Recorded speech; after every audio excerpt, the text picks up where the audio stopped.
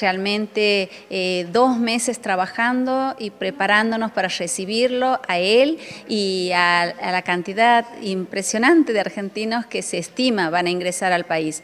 Eh, vamos a tener estos tres días eh, de, una verdadera fiesta religiosa, una fiesta de la fe.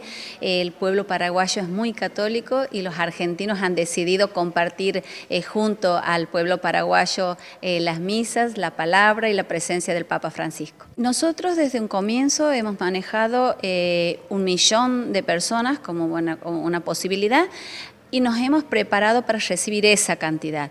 En los pasos fronterizos, en, Clorinda y Puerto Falcón, que es el ingreso por la Ruta 11, por Formosa, y en Encarnación Posadas, que es el ingreso por Misiones. Muy emocionados compartiendo este hermoso momento, un momento histórico en el Paraguay con un Papa argentino, pero bueno, que hoy le pertenece a todo el mundo. El Papa es argentino, es latinoamericano y el hecho de que haya elegido tres países latinoamericanos para visitar, eh, creo que eh, tienen un mensaje claro para todos. Eh, los latinoamericanos tenemos la oportunidad de seguir profundizando nuestras relaciones, de unirnos, de consolidar ese vínculo.